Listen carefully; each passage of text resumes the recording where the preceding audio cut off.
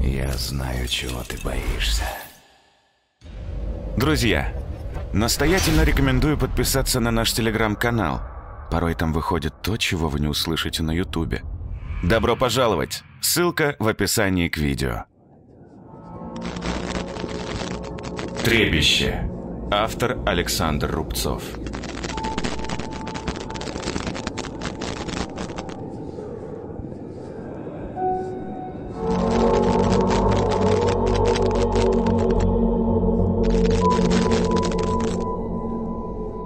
Постановление о возбуждении уголовного дела и принятии его к производству. Город Петродар, 24 мая 2012 года. 14 часов 0 минут. Следователь Следственного отдела по Андреевскому району Петродарской области Управления Следственного комитета старший лейтенант юстиции Бороздин В.С., рассмотрев сообщение о преступлении, рапорт об обнаружении признаков преступления по факту смерти Корнеева Игоря Анатольевича 15.09.1985 года рождения и материалы проверки, установил, 15.05.2012 года, около 14 часов 15 минут, в заброшенном поселке Провина Андреевского района Петродарской области, в парке, обнаружен труп Корнеева Игоря Анатольевича, 15.09.1985 года рождения, с признаками насильственной смерти, телесными повреждениями в области головы, шеи, грудной клетки, живота и паха. Принимая во внимание, что имеются достаточные основания, указывающие на признаки преступления, постановил. Первое. Возбудить уголовное дело по признакам преступления, предусмотренного частью 1 статьей 105 Уголовного кодекса Российской Федерации. Второе. Уголовное дело принять к своему производству и приступить к его расследованию. Третье. Копию настоящего постановления направить прокурору Андреевского района города Петродара. Следователь, подпись, печать.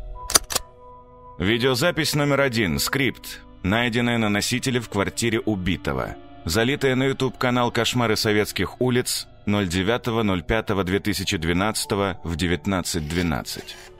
Квартира Корнеева. День. 9.05.2012. Временной код 11.24.17. Хозяин квартиры сидит за столом перед камерой. В квартире, насколько можно судить, опрятно и чисто. Какое-то время он молчит, осматривается, прокашливается, начинает говорить. «Меня зовут Игорь Корнеев, вы на канале «Кошмары советских улиц». До сих пор мы с вами говорили о разной чертовщине, городских и деревенских легендах, маньяках и привидениях. Мы побывали в заброшенных деревнях, недостроях, музеях и видели много разной всячины, от жуткой чертовщины до обычных пустышек, раздутых до размера Вселенной. Сегодня особый случай, которому я посвящу несколько выпусков. Все будет происходить в реальном времени. Это новый для меня формат, поэтому скажу честно, я не знаю, сколько это все продлится. Тех, кто останется со мной до конца, ждет сюрприз. Посещение самой загадочной деревни нашей огромной страны, о которой я, внимание, до сих пор ни разу не слышал. Для меня этот случай необычен вдвойне, потому что он коснулся моей семьи. Ну, хватит предисловий, давайте перейдем к делу. Недавно мой дядя, Корнеев Федор Кузьмич, умер. Разбирая старые бумаги, мои родители наткнулись на неподписанную никак папку. Вот она. Показывает папку. Мама мельком глянула, но ничего интересного для себя не нашла. Внутри были письма какой-то женщины, записи дядьки и кое-какие документы из старого советских времен уголовного дела. Так как никакой ценности бумаги не представляют, я забрал их себе. Хотелось немного разобраться. Дело в том, что папка находилась среди прочих бумаг особняком, и, судя по всему, ее хозяин нередко раскрывал ее. Первые документы относятся к середине 80-х годов. Похоже, что дядька вел какое-то расследование, и ребят... Игорь Корнеев улыбается в камеру. Это просто пушка. Я покопался немного в бумагах. Речь идет о таинственном исчезновении некой женщины в 1985 году. Она просто исчезла и никто ее не нашел после этого. Покопавшись в поисковиках и Вики, я ничего не обнаружил.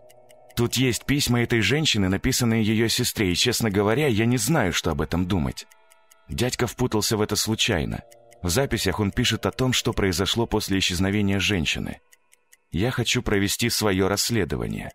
Да, я уже нарыл кое-какую информацию и поделюсь с вами в следующих видео. Ссылки на источники и сканы документов в описании. А пока... Пока... Справка. Провино – село в Андреевском районе Петродарской области Российской Федерации. Село является административным центром Провинского сельского округа, расположенного примерно в 25 километрах к востоку от Андреевки. В 1999 году население села составляло 880 человек, 430 мужчин и 450 женщин. По данным переписи населения 2009 года, в селе проживало 29 человек, 16 мужчин и 13 женщин. Историческая справка – впервые упоминается в 1382 году как погост Провы, позже как Слобода Провский Ям. Название этого поселения, вероятно, пришло с языческих времен. Прове, бог балтийско-славянской мифологии, почитался как высшее божество.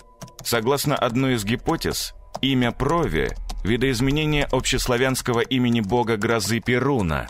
По другой гипотезе, Прове – бог плодородия, как и Паревит, чьи имена родственны – славянские «пора», «изобилие», «плодородие». Также упомянуто в завещании князя Дмитрия Донского в 1389 году, в котором он отказывает деревню в пользу своей жены, княгини Евдокии. В 1776 году по указу Екатерины Великой Провский Ям стал уездным городом. К тому времени здесь проживало полторы тысячи человек. В 1926 году город утратил свой статус и стал называться селом. Из записей Федора Корнеева. Уже не один десяток лет прошел. Иногда мне кажется, что все произошедшее тогда какая-то странная игра воображения. И лишь пожелтевшие от старости листы бумаги напоминают мне, что это не было сном. Все последующие годы я пытался выяснить хоть что-то. Собирал бумаги, расспрашивал людей – Черт возьми, я даже консультировался с краеведами. Почему я вообще начал писать этот так называемый дневник? Все очень просто. Мне нужно хоть как-то собраться с мыслями. А как это сделать? Я знаю только один способ – излить все на бумагу. Мне хотелось бы объяснить, почему я прекратил поиски. Если кого-то заинтересуют мои записки, то читать, чтобы как-то сохранить хронологию событий, следует именно в таком порядке, в каком я эти документы расположил. Я говорю о хронологии, но имею в виду призму своего восприятия. Я упорядочил их так, чтобы было понятно с первого прочтения. Об исчезновении Надежды Афанасьевой говорили немного. Насколько мне известно, ни в одной газете об этом не писали. Сам я попал в гущу событий совершенно случайно. Если бы не некое стечение обстоятельств, по которым сама Антонина не смогла приехать в поселок, она никогда не обратилась бы ко мне. Звонок раздался днем, и Антонине очень повезло, что она вообще застала меня дома. Вечером звонить она не могла из-за склочности мужа. Да и как бы она смогла объяснить звонок тому, с кем встречалась до свадьбы. С Тони мы дружили с детства. Как-то совсем незаметно наши приятельские отношения превратились во что-то более глубокое. К сожалению, этим отношениям не суждено было продлиться долго. Все случилось по моей вине. Мы расстались и долгое время не виделись.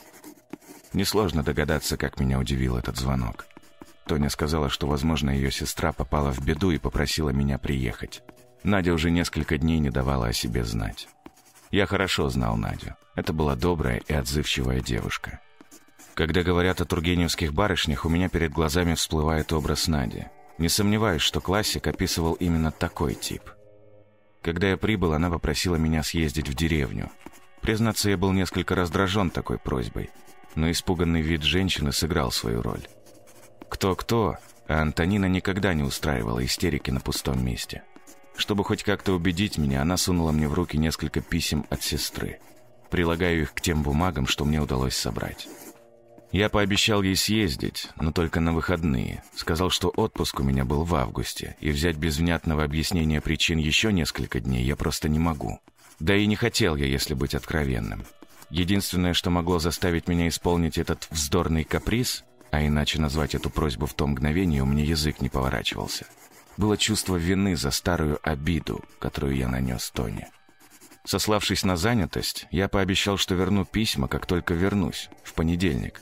В душе я надеялся, что вопрос ко времени моего отъезда решится сам собою.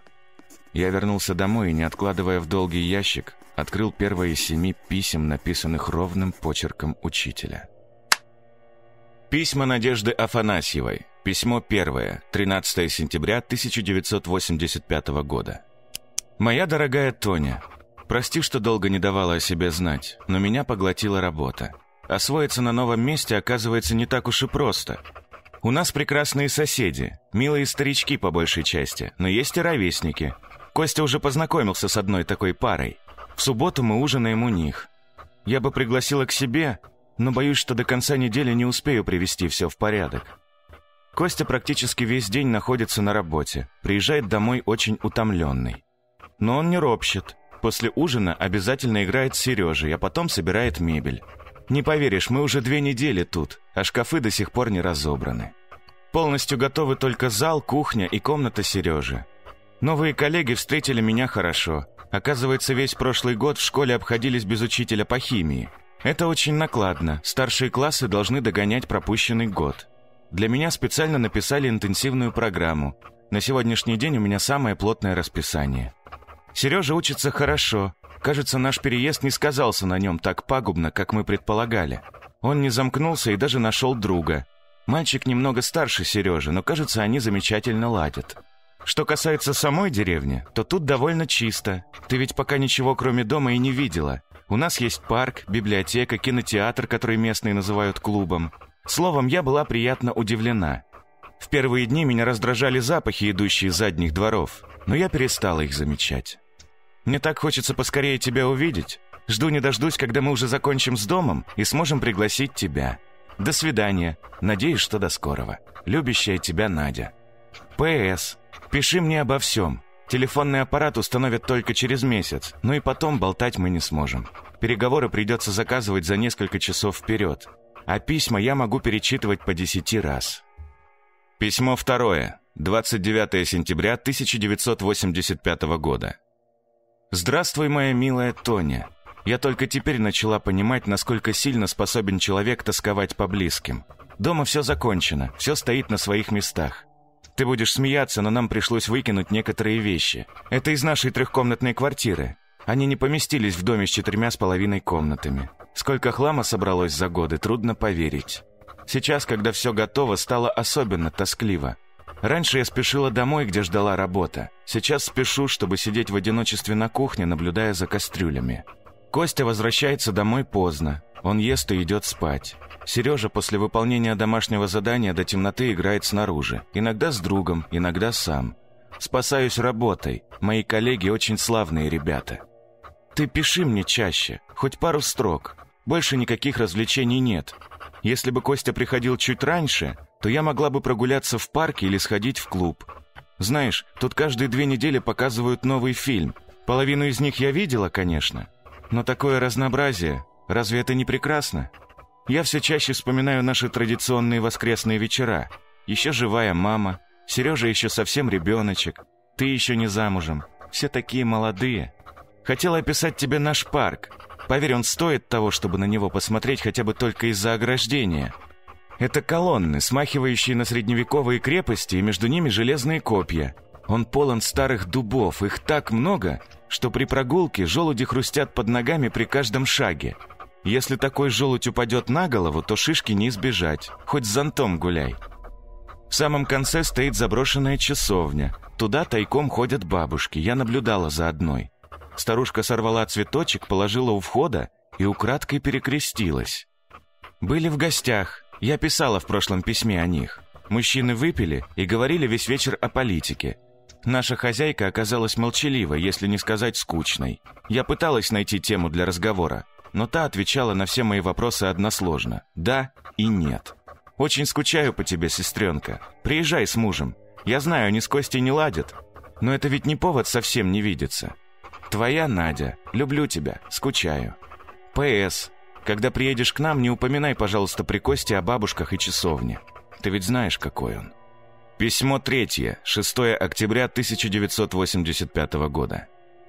«Тоня, привет! Хочу поделиться с тобой кое-чем. Вчера я беседовала с соседкой, я писала о ней недавно. Довольно молодая пара, живет через несколько домов от нас. Мы ужинали у них. Та, что не очень общительная. Но сначала должна рассказать тебе, почему вообще имел место этот разговор. Сережа ушел со своим другом на игровую площадку. Обычно ему можно гулять до восьми вечера, но сейчас, когда темнеет так рано, я наказала ему, чтобы приходил до заката. Мальчишки заигрались, на улице уже стемнело, и я вышла за ним. Дверь на всякий случай оставила открытой, написала записку.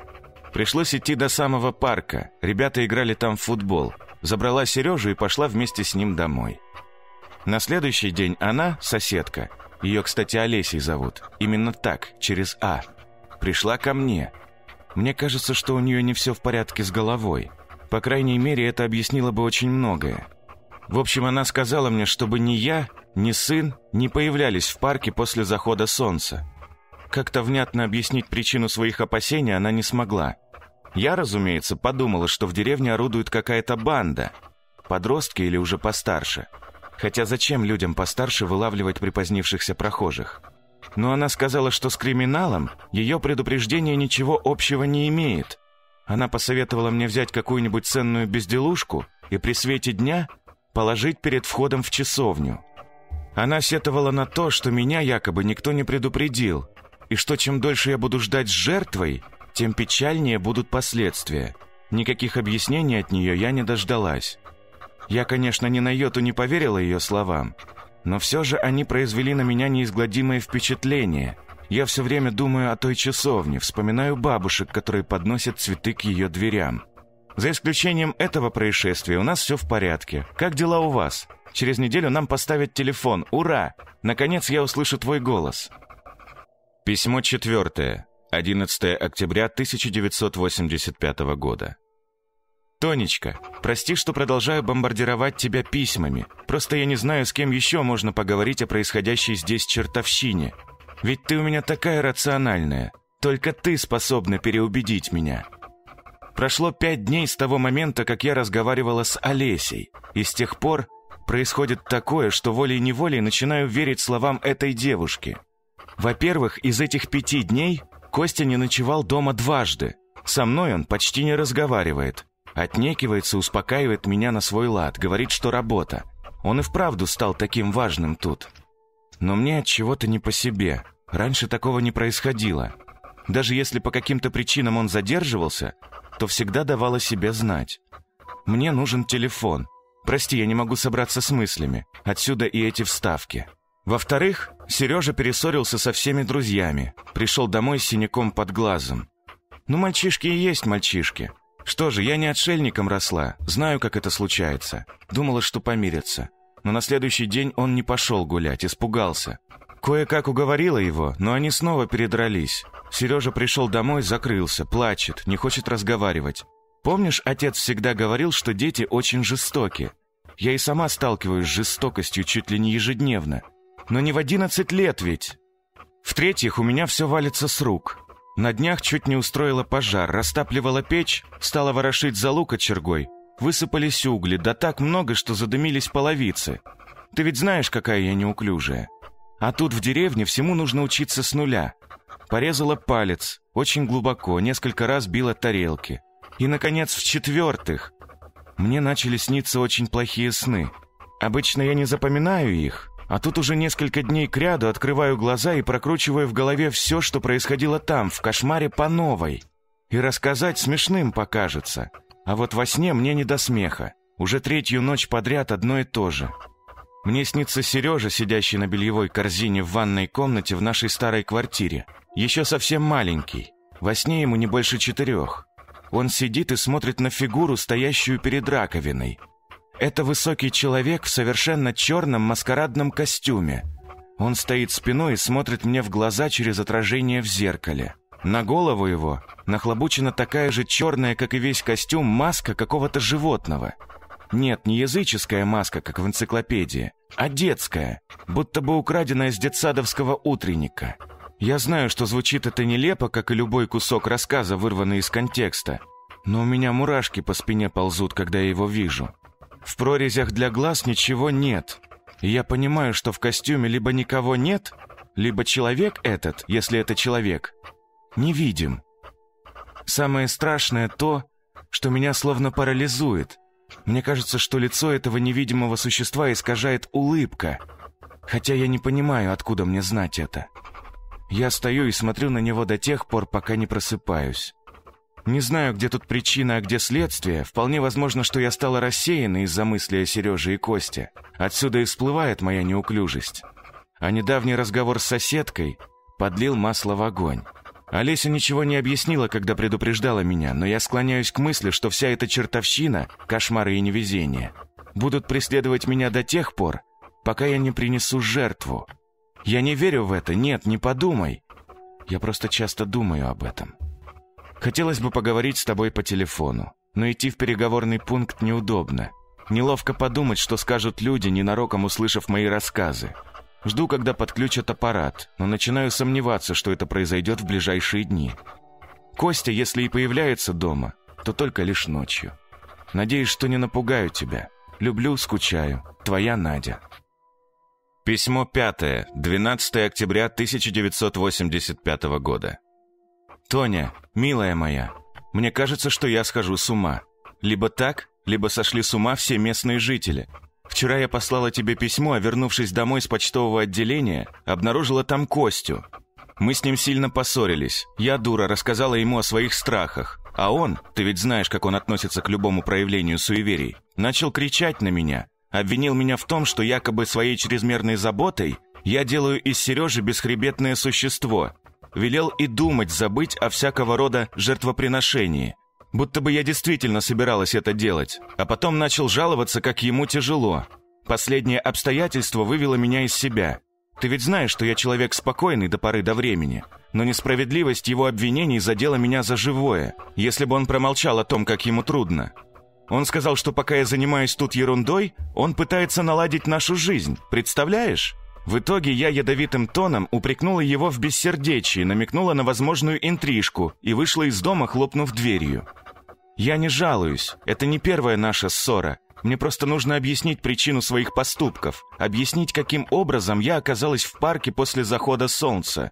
Для начала нужно упомянуть, что я не встретила ни единой души на улице. В тот момент я не обратила на это внимания, думала о своем. Глупость своего поступка я осознала, сидя на лавочке в парке. Ну и что мне это дало? Холод, пронизывающий ветер и странное ощущение некой опасности заставили меня подумать о возвращении. Оставалось сидеть из твердолобости. Робко мечтала о том, что Костя придет сейчас и уведет меня домой. Внезапно я услышала мужские голоса в темноте. Они не разговаривали, но что-то бормотали.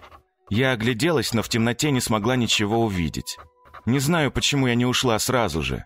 Если ты думаешь, что я не испугалась, то ошибаешься. Сейчас, пока я пишу эти строки, я понимаю, что не допускала в том мгновение и мысли о том, что это могут быть сельские жители. Каша в голове сбивала с толку. Я тут же вспомнила слова Олеси. В книгах пишут о том, как люди покрываются холодным потом от страха. Мне же свело поясницу, ноги стали ватными, как во сне. А сам страх был сверхъестественным. Знаешь, бывает, проходишь поздно вечером мимо подвыпившей компании молодых человек. То, что я испытала, не имеет ничего общего с этим страхом. Я могу сравнить лишь с теми ощущениями, которые испытывала во сне, когда видела человека в черном маскарадном костюме. Стараясь не шуметь, я встала и вгляделась в темноту. Голоса раздавались с той стороны, где находится часовня. Чтобы туда попасть, нужно идти по тропинке до забора, а потом свернуть вправо. Я так подробно описываю, чтобы было понятно, что эти люди не могли меня увидеть случайно. Я подошла к дереву и присела. Перед входом в часовню стояли на коленях семеро человек. Силуэты были хорошо видны в пламени нескольких десятков свечей. Что они там делали, я не знаю, но думаю, что молились. Меня охватила паника, и я едва устояла на ногах. Я попятилась назад, к тропинке. Теперь привычный хруст желудей под ногами казался мне громом. Осторожно ступая, шаг за шагом, не переставая смотреть на этих людей, я отошла на расстояние, показавшееся мне тогда приемлемым. Я развернулась и пошагала к выходу из парка.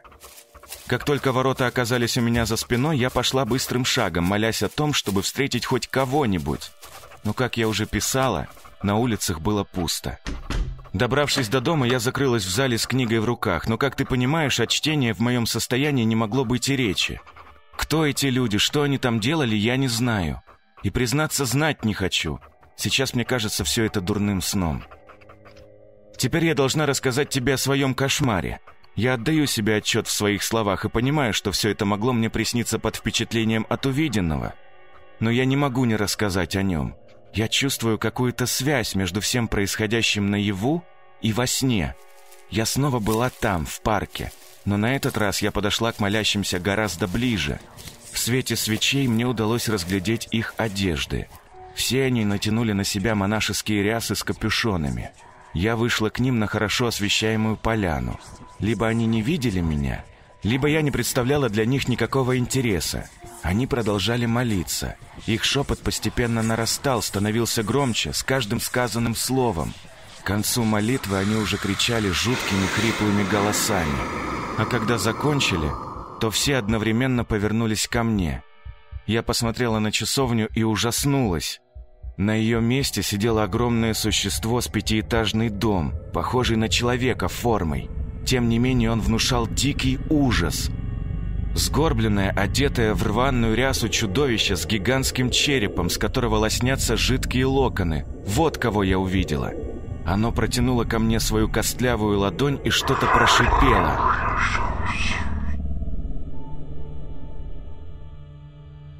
После этого я проснулась в полной уверенности. Те, кто молился перед часовней прошлым вечером, теперь точно знают, что я наблюдала за ними. Я полностью осознаю, что это был всего лишь сон, но никак не могу отделаться от ощущения, что на меня посматривают местные жители. Сегодня в школе меня избегали. Даже дети и те держались дистанционно. Мне кажется, что я схожу с ума. Не предпринимай никаких действий. Я написала тебе, потому что мне просто необходимо с кем-нибудь поделиться. Очень скучаю. Твоя Надя. Письмо шестое. 29 октября 1985 года. Я не знаю, что мне делать, Тоня. Пишу письмо, чтобы хоть как-то упорядочить свои мысли. По телефону я бы просто разрыдалась и не смогла сказать ничего внятного. Сначала признание. Это не было нервным срывом, как я говорила тебе. Все произошло на самом деле. Да, я видела эти дурацкие сны, и после того, как увидела во сне этого монстра, ко мне и вправду начали относиться иначе. Я сослалась на перенапряжение, чтобы хоть как-то успокоить себя. На самом деле, на следующий день я вернулась в парк, взяла с собой брошку, которую подарил мне Костя на годовщину свадьбы. Олеся говорила, что нужна какая-нибудь безделушка, представляющая ценность. Ничего другого я не придумала, надо же какая дура. Я положила брошь у дверей в часовню, что-то пробормотала себе под нос и пошла домой. Еще в парке я заметила, как прохожие улыбаются мне. И знаешь, я почувствовала себя хорошо, впервые после разговора с Олесей. В тот же день Сережа помирился с другом. Костя пришел домой вовремя и был нежен со мной. Да, был. И мне никто не сможет доказать, что все это нелепое стечение обстоятельств. В ту же ночь я спала как убитая и наконец-то смогла выспаться. Самовнушение это или магия, мне все равно. Все было хорошо до третьего дня. Костя вдруг вспомнил о злосчастной брошке, спросил, где она. Я могла бы солгать, но растерялась. Он понял, что тут что-то не так, стал расспрашивать меня. И в итоге я призналась во всем. Он был вне себя от гнева. Господи, я еще не видела его таким. Кричал неверное слово. Он вопил на меня так, что едва не сорвал голос. Затем надел пальто и ушел, а вернулся с брошью. Сказал, что она была в часовне на алтаре. На каждую мою попытку объясниться он реагировал новой вспышкой гнева. Мы так и не пришли к какому-нибудь соглашению. Утром он ушел и забрал брошь с собой. И все началось по новой. Сережа сломал руку, Костя не ночевал дома, а мне снова снятся кошмары. Я не знаю, что делать. Надя. Письмо седьмое. 5 ноября 1985 года. Ему не нужны другие вещи. Ему нужна брошь. Костя говорит, что он выкинул ее, раз я нисколько не дорожу его подарками. Мне снится третью ночь подряд моя смерть. Я боюсь спать. Сны настолько реалистичные, что меня бьет в дрожь каждый вечер. Круги под глазами. Сережа, кажется, боится Костю. Почему? Сегодня пойду к алтарю. Я приготовила ножницы, бинты и кое-какие лекарства. Когда ты уже приедешь? Характеристика с места работы на Афанасьеву Надежду Владимировну. Афанасьева НВ, 1957 года рождения, работала учителем химии в средней школе. Два месяца. С 1.09.1985 года по 4.11.1985 года. НВ работала учителем химии в городе Петродаре 5 лет, имеет диплом о высшем профессиональном образовании по специальности учитель химии. За время работы в поселке Провино Афанасьева НВ зарекомендовала себя как честный и добросовестный учитель, умеющий организовать рабочий процесс в классе. Обладает большим опытом работы и практическими навыками, позволяющими успешно справляться с работой. Надежда Владимировна постоянно занимается самообразованием, активно использует в работе новые идеи педагогической науки и практики. Ответственный и исполнительный работник, знающий свои права и обязанности. Учителя отличает аккуратность при ведении необходимой школьной документации. Обладает способностью быстро налаживать контакты с различными людьми, поддерживать добрые отношения как с учениками, так и с коллегами – в коллективе учителей, детей и родителей пользуются заслуженным уважением. Директор средней школы совхоза Провина Исааков Р.Д. Подпись. Замдиректора УВР Перова Л.М. Подпись «Печать». Из записей Федора Корнеева. Оставляю характеристику из уголовного дела тут же, чтобы стало понятно, кто такая, кем была Надежда Афанасьева. Это не единственная причина, а второй станет понятно из ниже следующего – Признаюсь, эти письма оставили двоякое впечатление. Наверное, именно так люди исходят с ума. Несколько лет спустя я показал их знакомому психотерапевту. Он объяснил все нервным срывом. Первым делом я подумал о самих письмах. Если в этой деревне действительно что-то случилось, то Тони непременно нужно показать их в милиции. В тот же день я сделал копии, благо моя профессия позволяла мне беспрепятственно добраться до копировальной машины. Оригиналы на следующий день вернул адресату – Вкладываю в бумаги оригинальные письма, которые получил совсем недавно, не без помощи опять же Тони. За прошедшую ночь ситуация не поменялась. Тоня была как на иголках. Я посоветовал ей немедленно писать заявление в милицию. Цирк. Там пришлось устроить настоящий скандал, чтобы за дело взялись. Но это было днем позже. Я же все-таки взял отгул и поехал в деревню. О первой своей поездке расскажу в двух словах, потому что она имела важное значение, хотя на тот момент не прояснила вообще ничего. Просто хочу напомнить, мои записи – не рассказ о моих поисках. Я не ставлю себе такой задачи. Все, что произошло со мной, имеет второстепенное значение. Однако прилагаю к документам копии протоколов допросов, в том числе и тех, где допрашивали меня. Задача этих строк заключается в следующем – пролить хоть немного света на те события, что произошли поздней осенью 1985 года и 1986.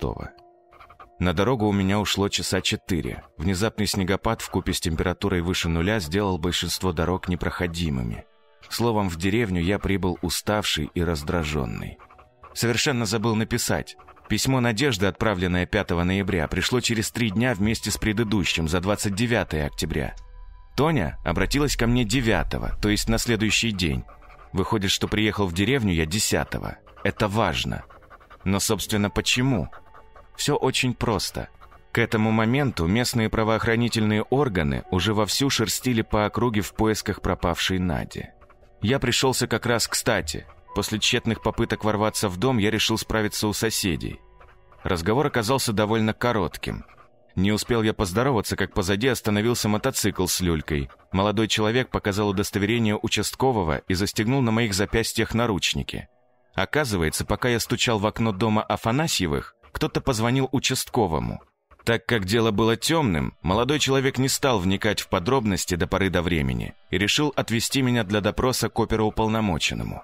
Меня допрашивали в кабинете председателя деревни. Копии писем остались, разумеется, в машине. Пришлось отдать ключи, чтобы за ними съездили. Долгий утомительный допрос продолжался до позднего вечера. Устроили некое подобие очной ставки с мужем Нади. Он сразу же узнал почерк жены. Немного колеблясь, он подтвердил все-таки факт ссоры с женой и то, что история с брошкой не выдумка. Председатель же откровенно издевался над рассказом о неких ритуалах, якобы проводившихся в парке – не скрывая язвительности. Первое, на что я обратил внимание, когда наконец вырвался из прокуренного кабинета, это то, что улицы деревни и вправду оказались пустыми. Это ничего не подтверждало и не опровергало. Время было позднее, будний день.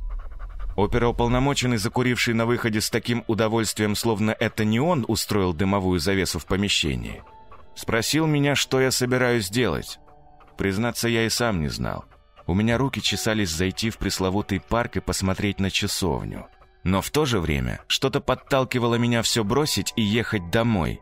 Не знаю, что это было. Какое-то странное беспричинное волнение. Тут важно понять, я не приписывал тогда и не приписываю сейчас этому волнению какой-то сверхъестественный характер. Даже близко не похоже на ощущение, которое испытываешь, посещая кладбище. Скорее, здоровый инстинкт самосохранения. Все-таки тут пропал человек, и десятое дело, был он вне себя или в своем уме, описывая странные ритуалы местных жителей. Я все же решился спросить опера, не хочет ли он составить мне компанию – на что он серьезным видом заявил, чтобы я и думать об этом забыл. Так я и уехал ни с чем. Видеозапись номер два. Скрипт. Найденная на носителе в квартире убитого. Залитая на YouTube-канал «Кошмары советских улиц». Пустынные улицы поселка Провина. День. 12.05.2012. Временной код 170726. На экране пустынные улицы поселка, асфальт покрыт трещинами. Сквозь них прорвались стебли прошлогодней травы. Игоря не видно, он держит камеру, слышно его сбитое дыхание. «Вот она, ребят, та самая деревня. Деревня считается заброшенной. Но в том доме...» Картинка плывет по кругу и, проскользнув мимо припаркованного автомобиля Игоря, останавливается на единственном доме, который не выглядит сильно запущенным. До сих пор живет семья, я только что встретился с местным жителем. Он, к сожалению, не разрешил снимать себя, как и задавать какие-либо вопросы. Это немного осложняет задачу. Я рассчитывал, признаюсь, на пустые дома. Надеюсь, что он не станет за мной следить. Камера вновь возвращается к дому местного жителя. Калитка со скрипом открывается, и в образовавшемся проеме появляется лицо аборигена. Это мужчина 50 лет. Он с подозрением смотрит в камеру и тут же скрывается. «Я что думаю, ребят? Немного странно это все. Или я просто зашорил взгляд этим названием дурацким. Я перерыл сотни источников, ходил к краеведу, как и мой дядька, но ничего странного об этой деревне не нашел. Вообще ничего. Двери в домах, которые еще остались целыми, заперты. Хотелось бы заглянуть в местные конторы. Может быть, там есть что-то, что хоть как-то выделяет деревню из сотни других. Ну, к примеру, хорошие урожаи каждый год. Или, может, тут обошлось без репрессий. В государственный архив мне не попасть в ближайшие дни, а из открытых источников ничего не выходит. Поэтому пробиваю дорогу лбом. Шаг оператора становится быстрее. Да, со стримом тут не получится, связь говно. Черт, у меня такое впечатление странное. Кажется, что этот тип наблюдает за мной. Так вот, о чем я? Зашоренный взгляд. Может, дело не в языческом боге? Да, дядька считал именно так, но он ведь мог и ошибаться. Часовня. Часовня, мать твою. Если жертвы и вправду приносили, то при чем тут часовни? Это ведь христианская фишка. В любом случае, ее нужно увидеть. Да твою ж мать! Камера вновь скользит по домам позади оператора. Чувствую себя японской девочкой. Вот-вот запищу. Не знаю, в чем тут дело. Атмосфера. Вспоминаю письма. Тетка и вправду поехала. Зверюшек с утренников я еще не боялся. Вот он, Впереди парк, огражденный полуразвалившимся забором. Над ним нависают кроны дубов. Асфальт усыпан желудями. Ворот нет. Внутрь ведет черный шрам тропинки, засыпанной листвой. Микрофон по какой-то причине отключается. Камера приближается ко входу. Если даже днем тут становится не по себе, в принципе, я должен быть привычен к подобным ситуациям. Это не первая заброшенная деревня на моем пути, смотри. А лавочек нет. Вырвали. Сейчас подумал вдруг, а если я приду туда, а часовню разнесли по кирпичикам? Вот будет смеху-то. Оператор идет молча, охватывая объективом красоту заброшенного парка. Так вот, пока мы не подошли. Я взял с собой две камеры. Вторая маленькая, но батарея у нее что надо, и картинка ночью получается лучше. Еще есть диктофон с памятью 500 мегабайт и батареей на 11 часов. Я хочу оставить их на ночь в часовне. Может, смогу выхватить этого аборигена с молитвой тут?» Впереди вырастает часовня. «Стоит, родная, стоит!» А я уже напугался. «Черт, тут и вправду атмосфера другая, прохладно как-то». Игорь поворачивает камеру объективом к себе. «Ну вот, ребят, я тут. Пока ничего такого, конечно, не обнаружил. Но сегодняшняя ночь решит, стоит ли продолжать. Я не хочу нагнетать, но эта странная подавленность, о которой писал мой дядька, она и вправду есть тут». Камера поворачивается к часовне. Игорь уже у двери. Он дергает ручку, и дверь со скрипом открывается. Внутри темно. Микрофон вновь отключается на мгновение. Камера оказывается внутри. Посреди помещения располагается алтарь. Огромный крест бросается в глаза прямо с входа. «Христианская. Я ведь говорил?» «Ну, все это только запутывает дело. А неплохо сохранилось, а? Учитывая то, как выглядят дома в округе. Что это значит?» «Это значит, что наш милый абориген ухаживает за ней. Пойдем кое-что проверим».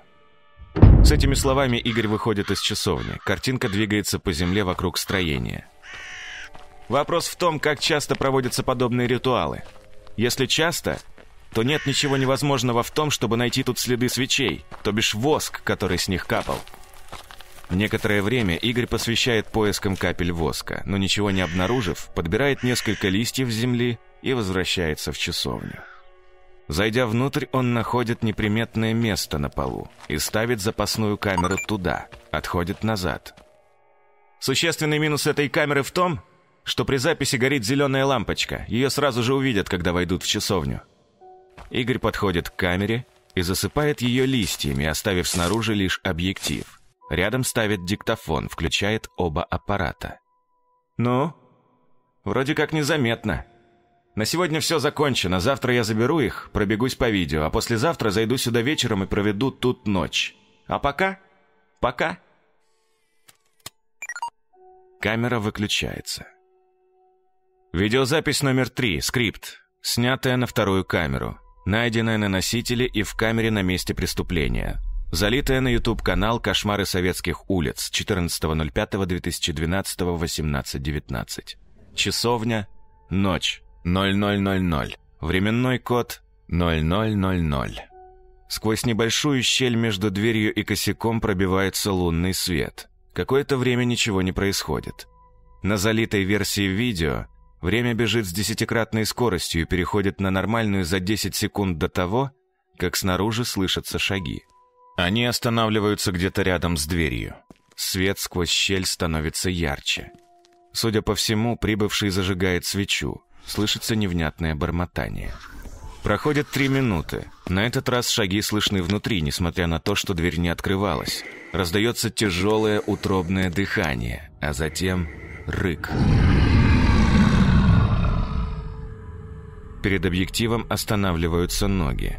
Камера поворачивается к стене, слышится то ли смех, то ли вой существа, поднявшего камеру. Затем его же причитание, состоящее из одних гласных – Дверь хлопает, и на мгновение голос молящегося становится отчетливее. Последующие часы ничего не слышно и не видно. Комментарий автора канала и записание видео. Не знаю, что случилось, но тайм-код не работал всю ночь, поэтому не могу с уверенностью сказать, когда произошла эта дичь. Ребят, мне чё-то сыкотно. Хз, надо решаться, но духу не хватает. Через три часа выезжаю. Из записей Федора Корнеева. Я вернулся туда через год. Надю успели к тому времени успешно похоронить. Заочно, конечно. Тело ее так и не нашли. Весь год я мучился одним простым вопросом. Если все так, как об этом говорила официальная версия, то есть если она попросту сошла с ума, то куда же пропало тело? Ну или не тело, а сама девушка, если она осталась живой. Я бы никогда и не подумал проводить какие-либо расследования самостоятельно, если бы не побывал в деревне сам. Как вышло, что сестре, которая всеми правдами и неправдами пыталась выяснить, что произошло с сестрой, даже не дали знать о пропаже сестры? Даты. Она пропала пятого, а десятого никто и не подумал известить сестру. Почему? Шок? Или, может, сестра недостаточно близкий человек, чтобы ее извещать? Если искали, то должны были всплыть ответные письма Тони, затем нужно было допросить ее. Я понимал, что письма мешали мне думать непредвзято, но уже не мог не сопоставить события, описанные в них, с тем, какое рвение проявляли правоохранительные органы, пытаясь отыскать женщину. Признаться, сначала я и не думал туда ехать, даже через 20 лет. Однако, как и в первый раз, меня вдохновила Тоня. Нет, она не просила меня. Летом следующего после пропажи года я узнал, что она не оставила надежды и до сих пор пытается найти сестру. Случилось это так. У меня был знакомый следователь, я не стану называть тут его имя, он давно умер. Ко всему прочему, я не уверен, получил он приказ сверху или пришел ко мне по своей инициативе. Назову его просто С. Я возвращался домой после смены. С ждал меня у подъезда. Всем своим видом он старался показать, что встреча эта носит чисто служебный характер, и я должен отнестись к его словам с максимальной осторожностью. По его словам, Тоня вела себя не совсем адекватно. Она несколько раз была в деревне, допрашивала местных жителей, а один раз ее поймали ночью в парке. Эс хотел, чтобы я поговорил с Тоней. На нее якобы поступило множество жалоб, и если это будет продолжаться в том же духе, то им, органам, не останется ничего другого, чем арестовать ее. С Тони я поговорил. Она очень испугалась того, что ей заинтересовался Следственный комитет, и пообещала ничего впредь не предпринимать. Я расспросил ее о том, что она успела выяснить, и, как оказалось, совсем немного, а точнее, совсем ничего. Как бы то ни было, через пару недель я решил съездить туда. Приближался ноябрь, а с ним и годовщина со дня пропажи Нади. Я запланировал поездку на тот же день. Не знаю, что меня подтолкнуло к такому решению, но, как оказалось позже, оно было правильным. Или все-таки неправильным. В любом случае, я усвоил преподанный мне урок. В том году зима наступила поздно, и в начале ноября даже листья не успели опасть с деревьев. «Очень хорошо», — подумал тогда я. «Если что-нибудь обнаружу, будет легче остаться незамеченным». Я заехал с другой стороны, пришлось сделать небольшой крюк, но в итоге я оказался совсем недалеко от парка. Впоследствии это спасло мне жизнь. В ноябре темнеет рано, но я дожидался позднего вечера. Около десяти я вышел из машины и, оставаясь вдали от уличного освещения, пробрался к парку. Перебраться через забор в то время не составляло труда. Оказавшись в парке, я осмотрелся, постарался получше запомнить место, куда мне вскоре следовало вернуться. В парке висела оглушающая тишина. Складывалось впечатление, что я нахожусь в помещении. Лишь хруст веток и желудей под ногами говорил о том, что я не оглох. Я пробрался по пожухлой листве к асфальтированной дорожке и осторожно пошел вперед. Где находится пресловутая часовня, мне оставалось лишь догадываться. Опер не пустил меня в прошлом году. Все, что я знал, было подчеркнуто из писем Нади. Впрочем, добраться до нее мне было не суждено. Из-за деревьев в мою сторону приближалась фигура. Не знаю, как я поступил бы в тех же обстоятельствах в другой деревне, но после всего описанного выше – я невольно сжал кулаки, готовясь к драке. Вскоре мне удалось распознать в фигуре женщину. Мало того, в лунном свете мне показались знакомыми ее черты. Я осторожно сделал шаг в ее сторону и вскоре убедился, что передо мной стояла Надя. Она смотрела на меня мертвым, неподвижным взглядом. Я растерянно улыбнулся ей и собрался что спросить, но женщина вдруг указала на меня пальцем и завыла – все слова застряли в горле. Сначала я услышал легкие шаги, набирающие разгон. По спине пробежали мурашки. Я стал смотреть по сторонам, но ничего не видел. А шаги становились все громче. За спиной раздался рык. Я резко обернулся и увидел это существо. Сейчас, вспоминая его, я все же склонен думать, что передо мной был человек. Вообще-то я не испугливых, но в тот момент у меня душа ушла в пятки. Он рычал, раскрыв рот так широко, что я отчетливо увидел все его зубы, даже коренные. И он очень быстро приближался. Я выставил руки вперед, что-то крикнул, но он не слушал или же не слышал. Он прыгнул на меня метров с трех. Прыгал он так, словно хотел отхватить зубами пол лица, вперед головой, держа руки по швам. Я чудом увернулся, оттолкнул существо в сторону и сам чуть не упал при этом. Оно кувыркнулось и через секунду было готово к новой атаке. Я сто раз пожалел, что не прихватил с собой ничего для защиты. На худой конец хотя бы кусок трубы. Оно прыгнуло вновь. Я в этот раз отбил его, но услышал за спиной новый шум. Обернувшись, я увидел пять или шесть теней, бегущих в мою сторону. Я до сих пор не знаю, кому они хотели помочь. Мне или моему сопернику. Выяснять этого я не стал. Что было мочи, я рванул назад к забору, оставив за спиной призрак Нади, существо, охраняющее парк, и толпу адептов какой-то жуткой секты. Чудом мне удалось перепрыгнуть через забор и добраться до автомобиля невредимым. Я хлопнул дверью, завел двигатель и уехал, чтобы никогда не возвращаться в проклятую деревню. Кто-то скажет, что я трус. Пусть и так. Да, я пытался разузнать о том, что происходит в этом жутком парке, но пытался сделать это издалека. Об увиденном там я никому до сих пор не рассказывал. Как не рассказала Наде ее сестре Тони.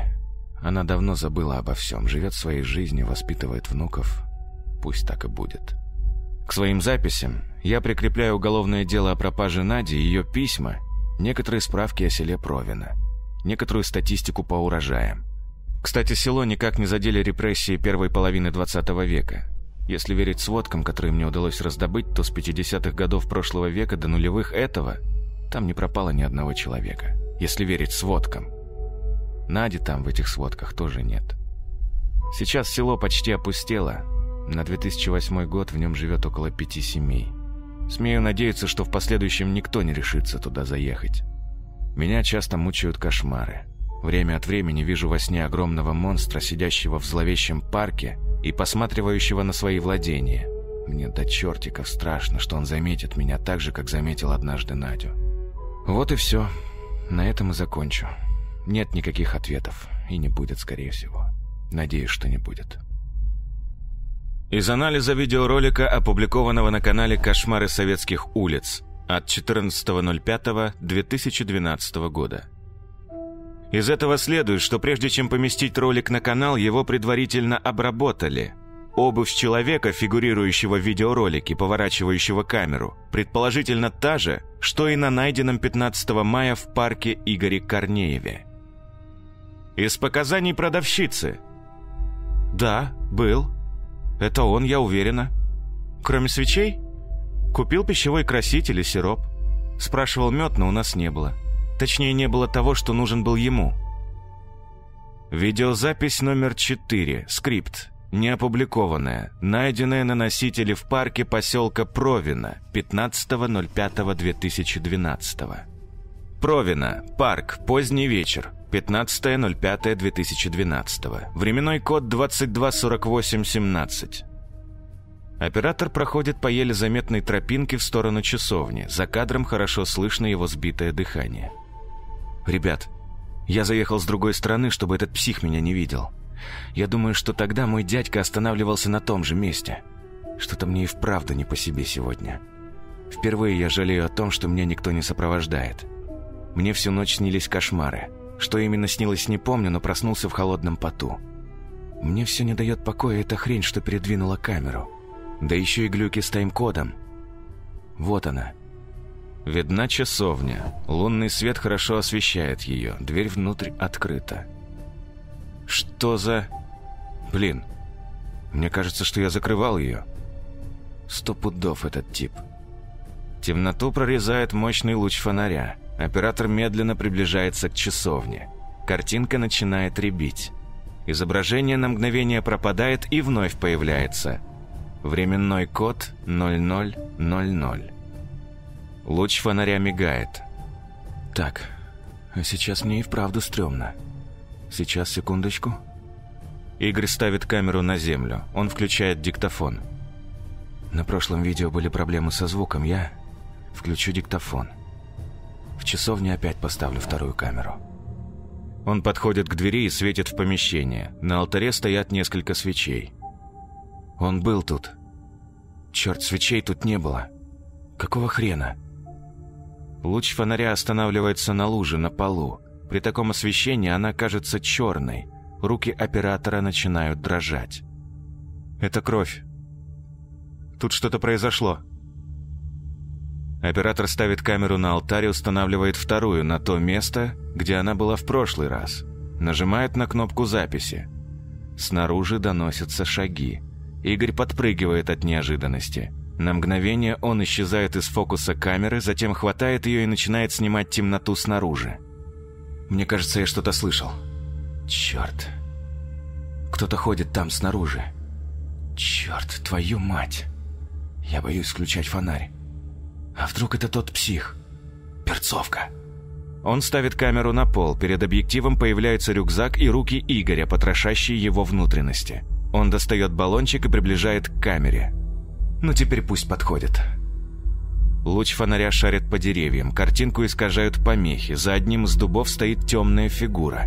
Игорь испуганно пятится вглубь помещения и гасит фонарь. «Какого черта?» Он дышит громко, рывками. «Черт! Черт! Черт! Черт!» Слышится приглушенное бормотание снаружи. «Эй!» Оператор вновь выглядывает наружу и вновь включает фонарь. «Эй, послушай! Я не хочу проблем! Я вооружен!»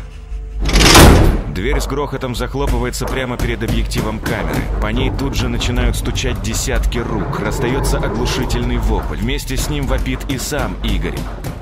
Блять! А! Какого хера? Он дышит так, словно пробежал 10 километров. Стуки снаружи не утихают. Внезапно все прекращается, и дверь рывком распахивается. Игорь не сходит с места. Это длится долгих 4 минуты. Так, ребят, мне нужно выйти. Выйти и бежать к машине. Черт, как же стрёмно, а? Я... Я оставлю все вещи тут. Сейчас главное уйти отсюда целым. Ничего... Ничего не происходит уже несколько минут. Или сейчас... Или... На счет три я бегу. Фонарь нахер фонарь. Рюкзак, фонарь, большую камеру. Диктофон я оставляю тут. Видеозапись номер 5, не опубликованная, найденная на носителе в парке поселка Провина 15.05.2012.